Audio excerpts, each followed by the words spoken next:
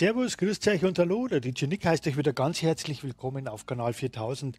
Transportfieber 2 in Bayern steht an und mit dem Blick auf den Ingolstadter Hauptbahnhof haben wir uns das letzte Mal verabschiedet. Und genau in dieser Ausgabe geht es also wirklich darum, diese Linie München-Ingolstadt zu bauen, auszubauen, richtig ja, zu entwerfen und schauen, dass wir so, dann die ersten Leute hin und her kutschieren, fahren, wie auch immer. Und jetzt schaue ich erst einmal, weil ich gerade gesehen habe, ganz wichtig, zuerst einmal habe ich da einen Schleimfehler drin. Ja, Bahnhof, es gibt natürlich nicht. So, und bevor wir loslegen, das allererste, was ich machen möchte, ist diese Linie, unsere Buslinie. Und die jetzt erst einmal bearbeiten, dass da jetzt auch gleich mal die Leute zum Bahnhof fahren können. Und das bedeutet, wir holen uns jetzt erst einmal die Ingolstädter Linie her, Linie verwalten. So. Und den da machen wir auch wieder ein- und aussteigen. Und da wäre es sogar clever, wenn wir, äh, das, auch das werden wir jetzt gleich mal ausprobieren. Also wir haben Mozartgasse, dann Lerchenweg, dann müssen wir das, machen wir dann, okay, gut, dann machen wir es jetzt so. Also Haltestelle hinzufügen und jetzt schauen wir mal, dann Wäre nämlich besser, wenn hier die Leute aussteigen oder da aussteigen. Ne, eigentlich da. Aussteigen. Daher, daher. Und dann geht es weiter daher. Schauen wir mal. Genau. Mehr ist ja eigentlich nicht. Wunderbar. Und dann haben wir hier. Na, Mann. So. Und dann haben wir hier, also das war jetzt das erste, das ist dann entladen. Und da dann beladen. Genau. Schauen wir mal, ob ich das jetzt richtig gemacht. Terminals.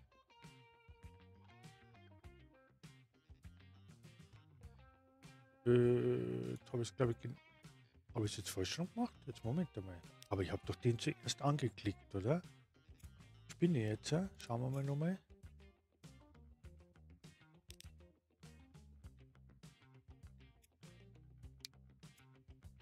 Zwei. Also was ist jetzt hier?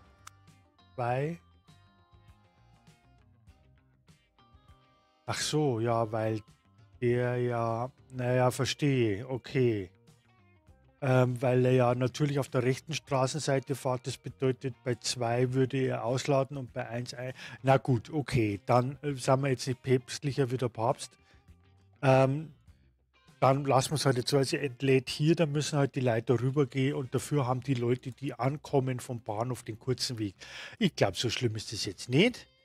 So, dann haben wir mal das. Übrigens werden wir jetzt mal wieder Geschwindigkeit laufen lassen, denn wir brauchen ja unsere Einnahmen. Und jetzt müssen wir schnell schauen, was haben wir denn auf der Linie Ingolstadt? Da haben wir zwei Busse fahren. Okay, da werden wir dann definitiv mehr Busse brauchen. Dessen bin ich mir eigentlich ganz sicher. Aber das kommt natürlich erst, wenn die Linie dann läuft. Okay, gut. Das war es jetzt das. So, und jetzt äh, werden wir die Gleise zu Ende legen. Und wir bauen das natürlich, schauen wir mal, zweigleisig aus. Das versteht sich von selbst. Und müssen jetzt mal schauen, was nehmen wir hier für Gleis. Nehmen wir die. Man könnte ja auch zum Beispiel noch Ingolstadt-Augsburg auch eine Linie machen. Ähm, ich überlege, Regensburg wäre dann das zweite. Dann würde ich tatsächlich sagen, wir nehmen die zentralen Mittelgleise und lassen die anderen mal offen, weil wir dann auch Möglichkeit haben. Also ein Gleis eventuell Donauwörth, ein zweites Gleis vielleicht nach Augsburg. Ansonsten sehe ich hier unten ja nichts mehr, was wir ansteuern wollen. Ulm wird natürlich von Augsburg bedient, das wird sonst keinen Sinn machen.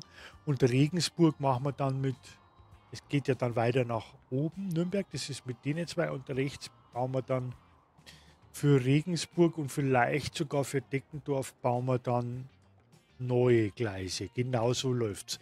Also bleiben uns die beiden Mittelgleise. Die zwei, die nehmen wir. Okay, gut.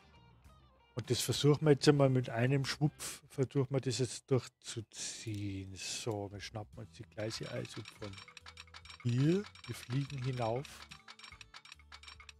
nach hier. 700.000. Ja, weil das ist eine ganz schöne Strecke. Aber so schaut es gut aus. Finde ich jetzt in dem Fall okay.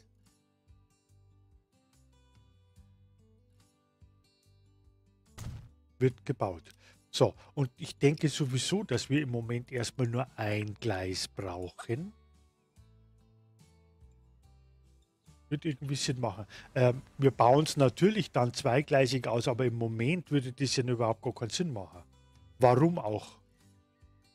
Denn, jawohl, ja, es ist halt die Frage, wenn wir dann zwei Züge haben, könnten wir natürlich auch dabei mal ein Ausweichgleis bauen. Ähm, klar, also das Doppelgleisig ist eigentlich schon für die Zukunft vorgesehen, wenn wir dann wirklich irgendwann einmal unsere ICE-Züge fahren haben. Ähm, dann macht es ja durchaus Sinn. Ansonsten würde ich jetzt sogar mal vorerst mit einem Ausweichgleis arbeiten. Ja. So. Ja. Okay, gut. Dann steht die Strecke steht und jetzt müssen wir mal schauen. Wir haben ähm, überhaupt gar keinen Zugshop, gell? Haben wir, haben wir gar nicht. Wo, wo sind denn eigentlich unsere Zushops? Äh, Augsburg haben wir einen in Augsburg gebaut. Ähm, es ist halt die Frage, ob wir da wieder in München hier links und rechts zwei bauen oder ob wir den sogar vielleicht in Ingolstadt bauen. Da bin ich mal ein bisschen unschlüssig. Also rechts den Platz brauchen wir, aber hier zum Beispiel könnte man eins herstellen. Probieren wir mal. So, Bookshop. Ja, der wird da natürlich super herpassen, gell?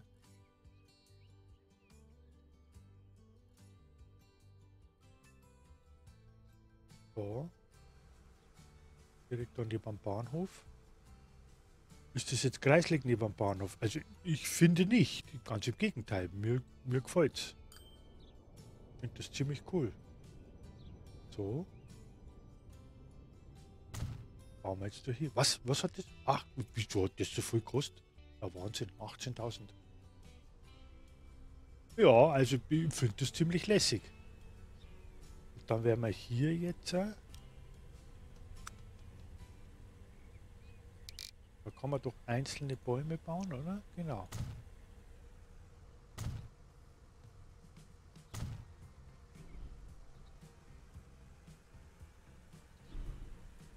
Wir andere.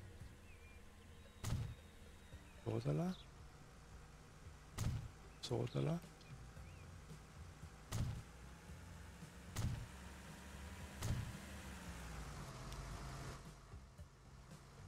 Ja. Ist doch schön. Gefällt mir gut. Und dann bauen wir sogar hier. Ähm, nehmen wir die gleichen.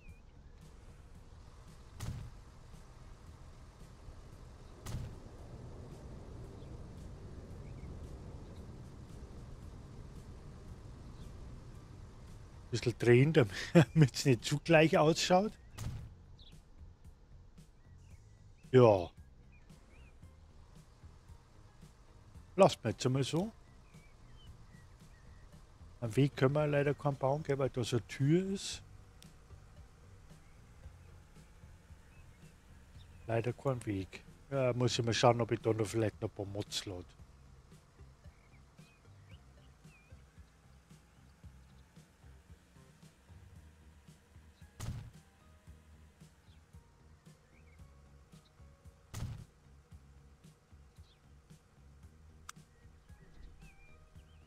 Jetzt muss ich genau wissen, gell? Das habt ihr jetzt auch gerade gedacht. ich mir auch.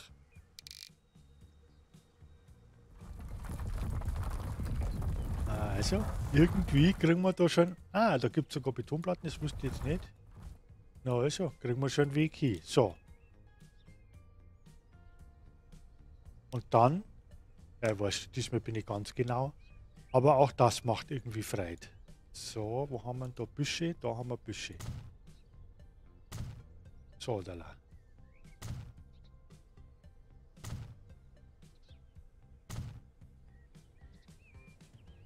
So.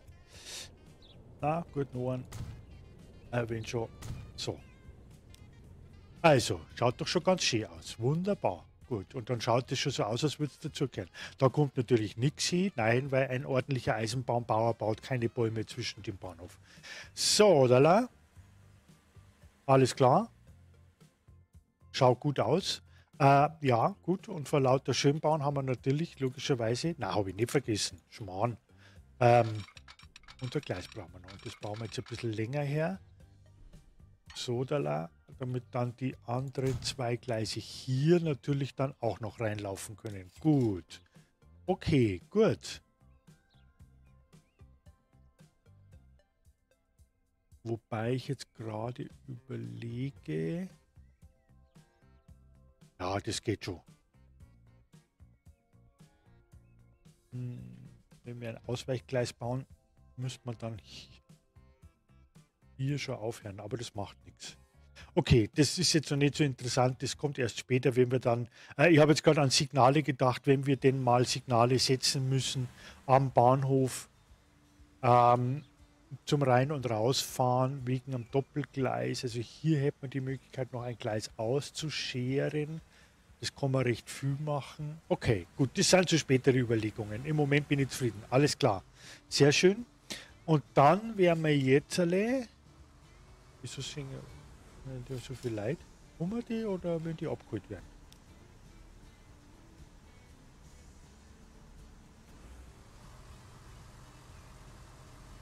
Ah, die wollen abgeholt werden. Okay, gut.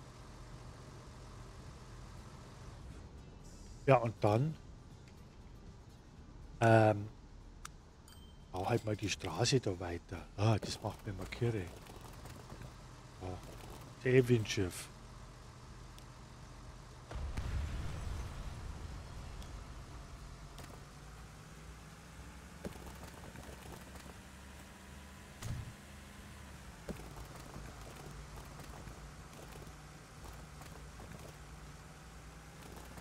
Man die Straße nicht gerade bauen, ha?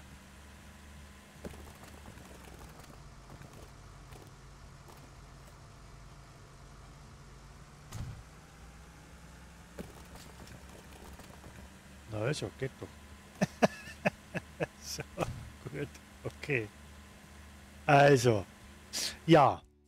Äh, übrigens habe ich mir natürlich jetzt ganz nebenbei, lass mal kurz mal schnell ein bisschen laufen, habe ich mir Gedanken gemacht betreffend hier unserem, unserem Lebensmitteltransport, den wir wollen ja ähm, die Lebensmittel nach München transportieren. Das liegt irgendwie auf der Hand und zwar natürlich jetzt schon unglücklich, dass ich den Bahnhof so blöd hingestellt habe, weil ich habe etwas mit dem Gedanken gespielt, ähm, vielleicht doch das Lebensmittel per Zug zu transportieren. Das würde aber bedeuten, dass wir hier waagerecht einen Bahnhof herstellen müssten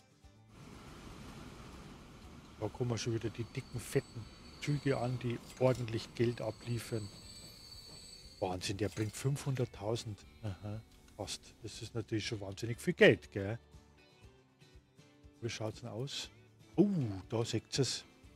Ich habe es euch gesagt, ich habe euch schon vorgewarnt, das ist das Problem, das wir jetzt haben. Wir bringen die 100% weg Das heißt also, wir haben wahrscheinlich etwas zu viel Waggons. Aber gut, das werden wir noch weiter beobachten. Im Moment sind, ist er noch voll, der Zug. Wir schauen wir mal, ob auch der nächste voll ist. Gut, ähm, ja, also äh, nochmal zurückkommen. Ich wollte hier eventuell eben waagerecht einen Bahnhof und dann vielleicht schauen, dass wir hier irgendwie hier so über die Seen, über die Isar drüber, über den Starnberg und über den Ammersee, man möge sich das nur vorstellen, über den Starnberg oder über den Ammersee gingen ja irgendwelche Brücken drüber, um dann hier anzuliefern. Das Blöde ist, in München müssen wir das, die Nahrungsmittel tatsächlich hier abliefern. Jetzt schauen wir mal nochmal. Ähm, da sieht man das. Hier, dass wir dieses Gebiet hier, hier muss irgendwo der Frachter stehen. Also könnte man hier unten runter und dann nach oben, das, dann würde man sich das sparen, mit dem LKW zu liefern. Oder halt eben das letzte Mal da oben rum, das gefällt mir aber nicht so. Also da muss ich noch ein bisschen rumknobeln, wie wir das am besten machen könnten. Hier müsste dann wahrscheinlich, wenn wir es von da machen, ähm, hier ist ja die Straße, also es ist alles tricky, da muss man dann tierische Tunnel bauen und hm, ist noch ein bisschen blöd. Oder die Möglichkeit, den Bahnhof daher zu stellen und dann das oben rum zu liefern, das würde ein einziges Chaos hier entstehen, auch nicht so gut. Oder mit der Straße, was gar nicht, könnten wir die Straße, ja gut, die könnten wir hier unten bauen und dann hier rüber, dann Tunnel hier durch und hier oben. Eieiei, also ist äh, ja schwierig, sagen wir es mal so. Schauen wir jetzt mal ganz kurz einmal schnell die Höhenmessungen an. Ja, das ist natürlich hier grauenhaft, gell, hier. Also grauenhaft, ist schön, aber ähm, wie man das machen soll, dass wir hier dann hier eine Straße bauen können, um das hier anzuschließen. Eieiei. Da muss man hier auf Seehöhe, also hier und dann hier Tunnel machen, hier direkt unter dem Berg durch und dann vielleicht hierher. Also das muss man nur ein bisschen sacken lassen, das Ganze. Okay, aber wir kümmern uns wieder um unsere, um unsere Ingolstadt-Geschichte. War nochmal schnell. Ja, also da haben wir das Problem. Ihr seht es, kurz einmal Pause. Ähm, die Züge sind nicht mehr voll und das ist natürlich nichts. Das ist natürlich nichts. Das kostet uns Geld. Und deswegen werden wir jetzt mal, das müssen wir jetzt machen, weil das ist wichtig. Nicht ersetzen, ändern. Äh, wir streichen da jetzt jeweils einen mal weg. So, da haben wir jetzt ein bisschen Geld verdient. Und dann hoffen wir mal, dass sich das ein bisschen amortisiert. Ja, ich weiß schon, da gerade immer der Hand. Also, hm, ja. Okay, gut, werden wir es jetzt mal so sagen. Soll laufen. Und währenddessen machen wir jetzt weiter und machen jetzt unsere in nächste Anführungsstrichen unsere nächste S-Bahn-Linie und die entwerfen wir jetzt erst einmal. So, also. Da haben wir jetzt hier die hellgrüne, dann nehmen wir als nächstes mal jetzt hier dunkelgrün. Äh, grün bleiben unsere S-Bahnen und zwar ist es dann die S2 von München nach Ingolstadt. Das ist eh eine wahnsinnige Meile. So, und da fügen wir jetzt die Stationen hinzu. Und zwar haben wir da einmal hier und einmal Ingolstadt. So, oh, hier, genau. Mehr ist es ja nicht. Okay, und jetzt Zug. Und jetzt ist die Frage, das wird jetzt teuer. Da haben wir unser Zugheisel da oben. So. Also, sprach's und schon gibt es einen neuen, den Flying Scotsman. Der ist für uns nicht relevant, weil nicht bezahlbar. Mal zu machen nochmal. Aber jetzt ist er da, oder? Wenn wir nochmal draufdrücken. Ja, da ist er. Der kostet 6 Millionen, das haben wir ja gar nicht. Also da geht es schon mal los. Ähm, die kostet auch 2 Millionen, die kostet 3 Millionen, die kostet 1,6 Millionen kann 60, die kann aber 90 fahren, ganz klar. Äh, es wird ganz logischerweise jetzt auf die Badische hinauslaufen. Alles andere können wir mittlerweile vergessen. Und Strom haben wir noch keinen. Und dann natürlich die Donnerbüchsen, klar. Also wenn sich die schon anbieten, das heißt, also wir haben jetzt hier 2 Millionen und drei Wegen, das sind einmal drei, also 5 Millionen brauchen wir. Die haben wir noch gar nicht. Dann müssen wir noch warten hilft nichts. Weil anders wir, naja gut, wir könnten jetzt einen, naja, wohl wir haben zwei, drei Millionen. Die hätten wir jetzt gleich, aber da müssen wir uns ein bisschen gedulden, weil das macht keinen Sinn. Stattdessen würde ich sagen, zahlen wir jetzt nochmal eine Million Kredit zurück. Nein, wir zahlen alles zurück. So. Wir haben keine Schulden mehr. Hervorragend. Und lassen lieber das Programm da ein bisschen schneller laufen und machen uns ein paar Ideen. Äh, haben wir den? Ja, also hier haben wir ja schon angeschlossen, klar, weil ja die Augsburger auch schon fahren. Sind da. Auch der Augsburger Zug ist nicht mehr ganz voll. Wollt man auch nicht. Wir bräuchten mehr Einwohner, aber was können wir gegen die Emission tun im Moment? Gar nichts, oder? Gut, dann schauen wir uns erst einmal unser Fahrequipment an, ob irgendwo was aus, ansteht. Ah, und da müsste man eigentlich unseren Augsburger Zug schon auswechseln, aber dafür haben wir auch kein Geld. Ja, im Moment, so richtig rund läuft es mit Geld noch nicht.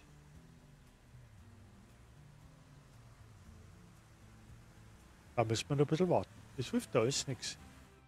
Und schauen wir mal, ob wir vielleicht irgendwo noch...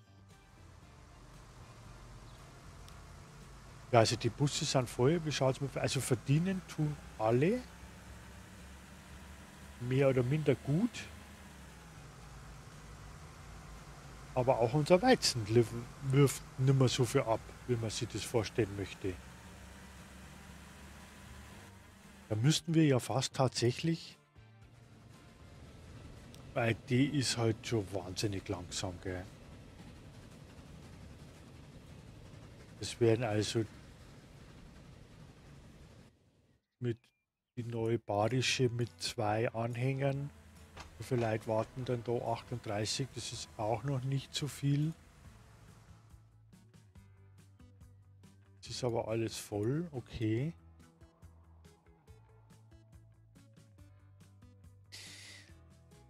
Ja, ist die Frage, gell, wenn man es richtig macht. Ist die Frage, machen wir zuerst das oder machen wir zuerst das? Also besser wir erst den Zug aus. Bringt uns aber keine Zusatzeinnahmen, wahrscheinlich schon mehr Geld, aber keine Zusatzeinnahmen, wobei uns eine neue Linie nach Ingolstadt natürlich zusätzliche Einnahmen bringen würde. Hm schneiden wir jetzt nochmal zwischendrin ein bisschen auf schnell, damit ein bisschen mehr geht. Und währenddessen schauen wir mal, wie es mit unseren Jungs hier ausschaut. Da unten. Inwiefern die, ja, aber die werden ja nicht einmal annähernd voll jetzt mittlerweile, gell? Ja, der Bahnhof, Bahnhof, der haut raus, was geht. Schauen wir mal.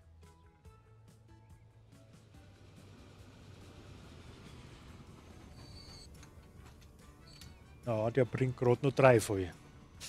Das ist das Problem.